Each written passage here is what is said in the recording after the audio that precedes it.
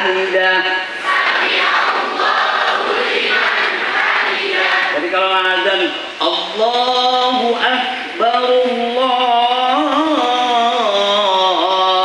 Akbar. Allahu Akbar Allahu Hati-hati ya Roknya tebal. Hei. Kita lanjutkan. Nama huruf za ini banyak. Jadi bisa Zai Atau Za. Atau Za. Ambil salah satu pakai yang terakhir aja Biar memudahkan muridnya Makhluknya ujung lidah dengan rongga antara gigi atas dan bawah. Tapi Za ini sifat utamanya hamas keluar udara. Nah coba. Za. Za. Zazizu Baz.